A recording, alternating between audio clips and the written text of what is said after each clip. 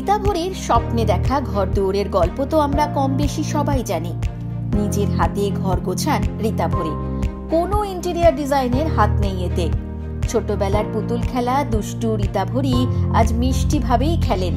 তাদের chair, table থেকে শোয়ার জায়গা, এক ওয়ান্ডারল্যান্ড। কিন্তু কীভাবে সাজান রীতা ভরি আমাদের সবার জন্য তার ছোট্ট ডেমনস্ট্রেশন।